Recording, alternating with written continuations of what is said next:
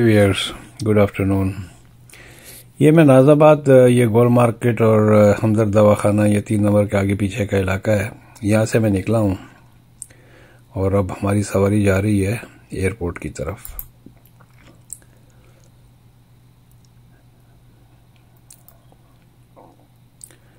जी तो ये किसी ज़माने में इतने कंजस्टेड इलाके नहीं थे। अब ये देखें ना, ये ऊँची ऊँची बिल्डिंगें खड़ी हो गई हैं। ये सब 120 गज के मकान हुआ करते थे, जो मुझे याद पड़ता है। अब सामने लोगों ने दुकानों में आई मीन सामने जो बिल्डिंगों के, ये तो खैर अपार्टमेंट बिल्डिंग बनी तो इन्होंने इसके आगे दुकानें डाली ही थी पहले से, लेकिन मोस्टली अब देखें ना, सामने के जो हैं, वो है अपार्टमेंट बिल्डिंग जो शुरू से थी। लेकिन यहाँ पर बहुत सारे जो मकान उनको तोड़ तोड़ के, जिस तरह ये कोने के इसमें जो है अभी ये काम हो रहा है। इन्होंने इसको कॉर्डन ऑफ़ किया हुआ है, या पर्दा लगाया हुआ है, या ग्रीन कपड़ा लगाया हुआ है। तो यहाँ पर काम हो रहा है। ये गिरा हुआ देखे ना क्रेन लगी हुई है।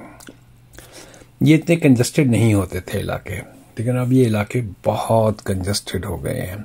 अब ये सामने जो है, ये ईदगाह का मैदान है। ईदगाह मैदान कहलाता है गालिबन। मैं जब भी यहाँ पर, अभी तो खैर मेरा एक दिन का यहाँ पर स्टे था। गालिबन वो ईदगाह का मैदान ही है यस तो क्या नाम है, पहले यहाँ पर मेरा एक दिन का स्टे होता था। इस दफ़ा तो मेरा एक दिन का स्टे था, लेकिन पहले जब भी कभी मैं आता था तो मैं संडे वाले दिन यहाँ पर बहुत सारे मैचेस हुआ करते थे। अच्छा ये रोड है, ये सारी राइट साइड पे ये चली जाती है, क्या नाम है आपका परवाला वाला करे, क्या नाम है, शेरशाह की तरफ़ और साइट एरिया की तरफ़। ये सामने, अब आगे आगे हम आ रहे हैं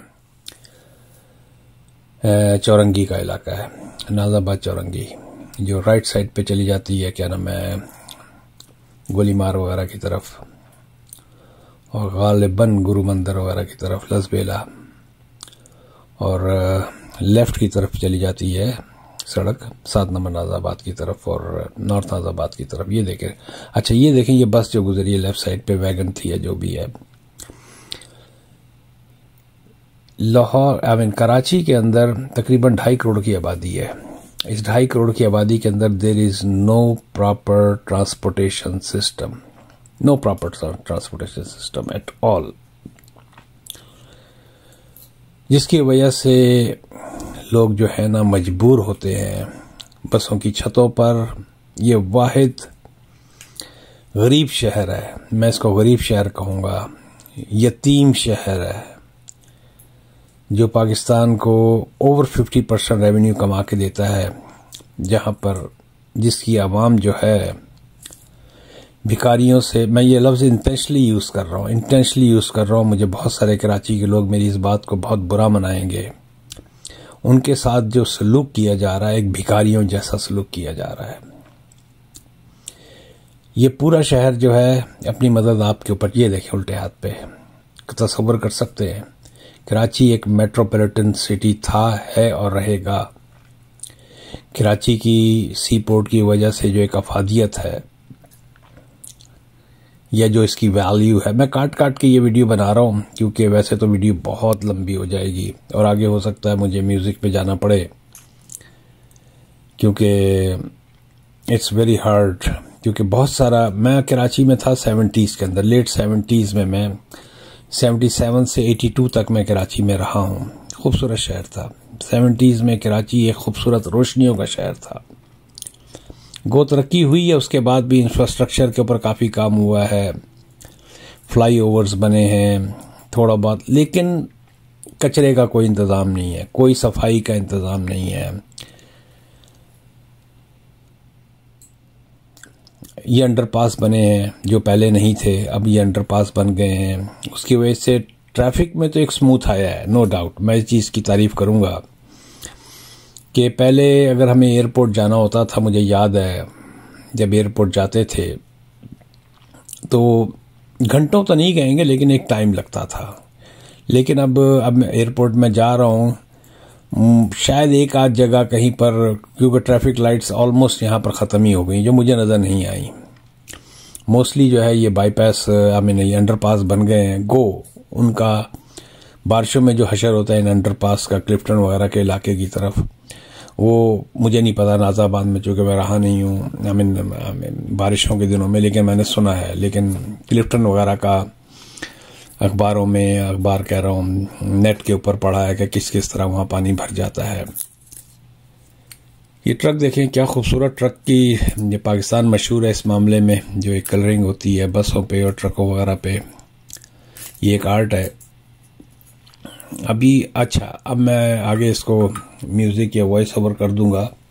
उससे पहले मैं बताता जाऊँ तो रास्ता मेरा क्या होगा? कारसास की तरफ़ से स्टेडियम कारसास का वो जो भी इलाका होता है, फिर शारा फैसल और शारा फैसल से एयरपोर्ट की तरफ़। तो चलें वियर आगे मैं इसको म्यूज़िक लगा रहा हूँ। और ताकि आप आगे इस वीडियो को एंजॉय करें और हम जाएँगे all the way to the airport departure मिलते हैं एक ब्रेक के बाद. Like I always request please subscribe my videos share करें लाइक करें. रात के वक्त पर, कल मेरा यहाँ से गुजरना हुआ था तो ये लेफ़्ट साइड पे सारा जो जो भी है ये बिल्डिंग है यहाँ पर रेस्टोरेंट्स की हैं तो वो जो ग्रीन बेल्ट है वो भी सार, सारा इलाका भर जाता है. रेस्टोरेंट्स के खाने खाने वालों से और ये वो. चलें वीर मिलते हैं एक ब्रेक के बाद। Like I always request please subscribe my videos